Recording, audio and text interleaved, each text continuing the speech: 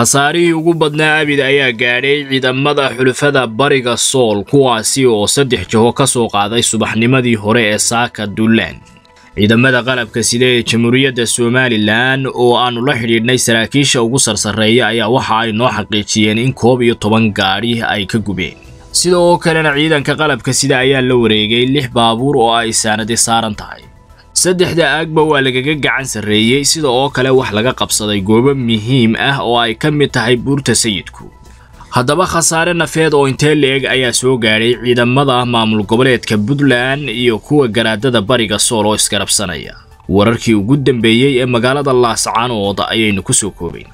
gacanqaad xooggan ayay isu diyaarinayeen muddooyinkii ugu dambeysay kaasi oo ay kaga quusanayeen inay ku bannaystaan waddada saanadu u soo marto ee isku xidha magaalada garoowe iyo sida oo kale meelo kale oo iyaga muhiim u ahaa. Hase yeeshee dhaqdhaqaaqoodaasi waxa uu fududeeyey ciidanka qalabka sida ee jamhuuriyadda somalilan oo isha ku hayay inuu kala wareego fadhiisimo iyaga muhiim u ahaa. Buuraleyda ku teedsan magaalada laascaanood ee xarunta gobolka sool oo ay muddooyinkii ugu dambeysay doonayeen inay meel uun ka qabsadaan ayay u suurtogeli weyday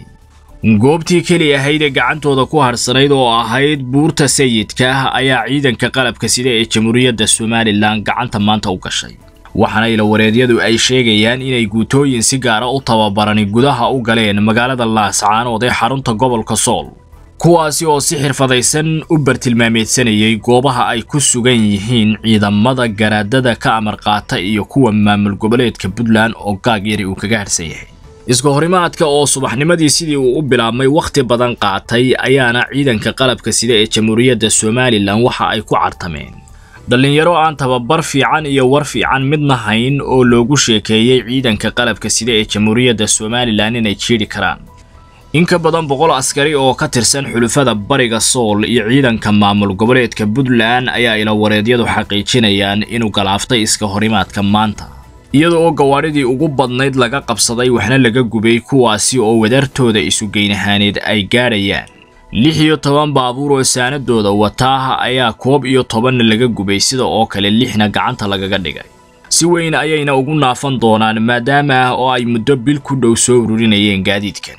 Muddooyinkii ugu dambaysayna waxaa ka soo dabadhacayay guulaha ciidanka qalabka sida ee jamhuuriyadda somalilan ay gaadhayaan kuwaasi oo sababay in ay marka ay iska horimaad iyo tuurtuur sameeyaanba soo diyaargaroobaan in ka badan bil. Taasi oo kuu muujinaysa taagtoodu inta ay gaadhsiisan tahay iyo sida oo kale in aanay awoodin. Inay ku sii sugnaadaan gudaha magaalada laascaanood xarunta gobolka sool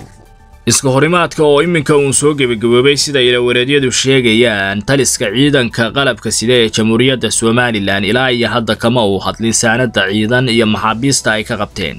Hase yeeshee warar hoose oo ay warbaahinta xogogaal helayso iyo saraakiil sarsare oo goobjoog ah oo aannu la xidhiidhnay ayaa waxa ay noo sheegeen inay saraakiishii ugu sarraysay gacanta ku dhigeen sida oo kalena waxyeello weyn u geysteen ciidamada garaadada ka amar qaata iyo kuwa maamul goboleedka puntland oo isgarabsanaya. Tanina waxa ay soo gebagabaynaysaa xiisadii muddooyinkii ugu dambeysay ka aloosnayd magaalada laascaanood ee xarunta gobolka sool